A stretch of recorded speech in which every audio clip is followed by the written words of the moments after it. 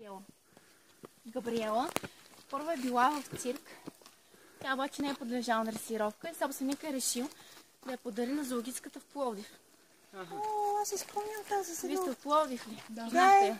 Аз я спомням, за да година беше. Да, С една лапичка. да, същата е. Е, това ли е същата? Същата е. Как се казва? Габриела. Габриела. Да, там при събирането на мъжката и женската мъжки е захапва лапата. Слушай, Е де. стигнал до ампутация, тъй като условията, в които е живяла, са били малка, тясна клетка. Ето сега ще питате и лечката, тя ще ви каже колко Да, една много мизерна клетка бяха. да. Те всички бяха мизерни клетки в Пловдив. И там явно са се борили за храна и за територия. Тоест много малка клетка, отдолу само бетон, страни решетки. И това е тя. А, Габриела е при нас от 2014 година. Иначе зоологическата градина е била затворена за посещение още от 2008 година.